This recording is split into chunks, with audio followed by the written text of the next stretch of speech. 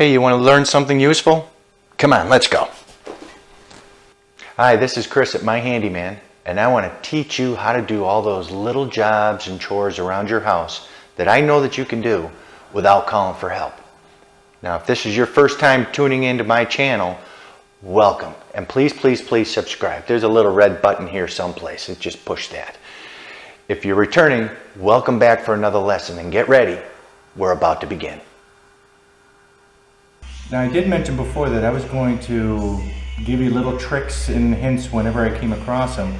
And one of the things that I do when I drywall is that when I think I'm finished sanding, then I go ahead and I pull out a little flashlight, dim the lights in the room, and then I go ahead and I shine the light on the sanded area to see if there's any bubble holes or bigger scrapes that I couldn't see visually or feel with my hands. So I'm gonna give you an idea what that's like. So I'm gonna pull the camera over here so you can see the sanded area that I did and we're going to inspect for any kind of nail holes or anything.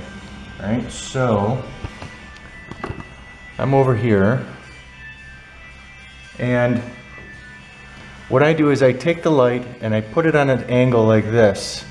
You can see the light in my hand.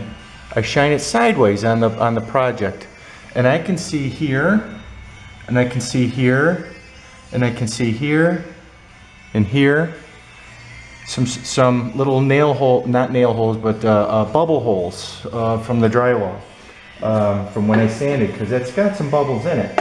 So what I do is, at that point, is I take a little bit of mud on my knife, and I go over it, force it in, scrape it off, force it in, scrape it off, force it in, scrape it off, just like we learned before. In about 10 minutes, we'll take another look at it and see if it needs any kind of additional additional mud on there and then we just give it a light sanding and go ahead and prime and paint. But for right now, let's wait and see what happens at this point. So we'll be back. All right, we're back. Let's take another look and see what happens over here. See if we can uh, just give this a quick sanding and wipe it down with a, a, a, damp rag and then we can prime and paint. So let's take a look. Let's set this back up like this.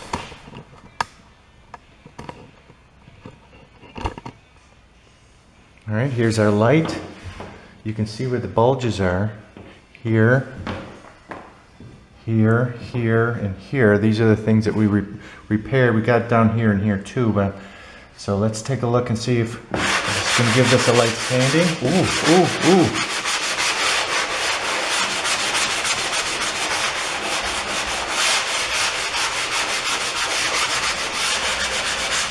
And that's how I do it. All right, so let's go over with the damp rag. Very damp rag, just enough to pick up all of the dust. And It looks great. Okay, it looks great. If it needed another coat, we put another coat on it, but it really does look good. And it is now ready for priming and painting.